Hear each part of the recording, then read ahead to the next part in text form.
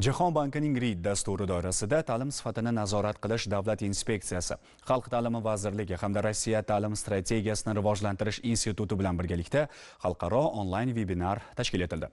Xalqaro tadqiqotlarda ishtirok etish inson kapitalini rivojlantirish omilidir mavzusidagi ikki kunlik tadbirdan muxbirimiz xabar beradi. Tojdor virus mavzusi hamon trendda. Koronavirus bilan bog'liq pandemik vaziyat har bir sohaga o'z ta'sirini ko'rsatmay qolmayapti shu jumladan ta'limga ham. O'zbekistonlik o'quvchilar ilk bor ishtirok etadigan piza xalqaro baholash dasturining tajriba sinov tadqiqotlari shu yilning aprel oyida. Asosiy tadqiqotlar esa 2021 yil aprel may oylarida o'tkazilishi kerak edi. Afsuski covid 19 pandemiyasi sabab bu jarayon kechiktirildi. Unga ko'ra sinov tadqiqotlari kelgusi yil aprelda piza dasturining asosiy tadqiqotlari esa 2022 yil aprel may oylarida bo'lib o'tadi. Ammo hamkorlik davom etmoqda chunki inson kapitali o'zbekiston uchun eng muhim mavzulardan biri. Oliy Majlisga murojaatnomada xalqaro tadqiqotlarga tayyorgarlik ko'rish borasida respublika bo'yicha 348 ta tayanch maktabi orqali 6000 dan ziyod pedagog malakasini oshirish vazifasi qo'yilgan. Qolaversa, xalq ta'limi tizimini rivojlantirish konsepsiyasiga ko'ra 2030 yilga kelib mamlakatimizning dunyodagi 30 ta ilg'or davlat safidan joy olishi ko'zda tutilgan. Ta'lim sifatini oshirishga qaratilgan bunday favqulodda muhim masalalar o'zbekistonning inson kapitali indeksidagi pozitsiyasini mustahkamlash imkonini beradi. Piza dasturi 15 yoshli o'quvchilarning o'qish matematika va tabiiy fanlar bo'yicha savodxonlik darajasini turli xil testlar ko'rinishida baholashdan iborat. Hozirgi kunda dunyoning 90 ga yaqin davlati unda ishtirok etib kelmoqda.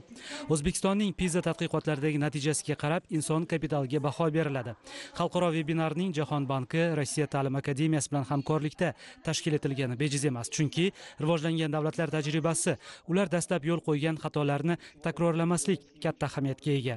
Rossiya pizada 2000 yildan buyon ishtirok etib keladi. Onlayn muloqotlarda o'zbekistonning xalqaro tadqiqotlarda qatnashishga tayyorgarligi o'qituvchilar malakasi o'quvchilar bilimini oshirish borasida olib borilayotgan ishlar muhokama etildi. Ikki kunlik vebinar aniq va filologiya fanlari shuningdek boshlang'ich ta'limga bag'ishlandi.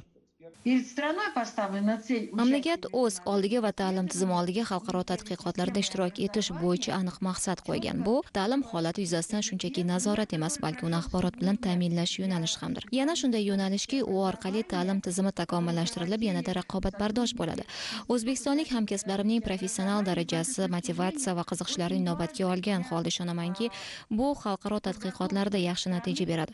Bugungi seminarga keladigan bo'lsak u mamlakatlarimizning xalqaro tadqiqotlarda ishtirok etishga tayyorgarligi. Global raqobatbardoshlikni oshirish o'zbekistonda ta'lim sifatini oshirishning mexanizmi sifatida muhim ahamiyat kasb etadi. Biz unda o'qituvchilarning malakasini yanada oshirish tizimini yaratishni muhokama qildik.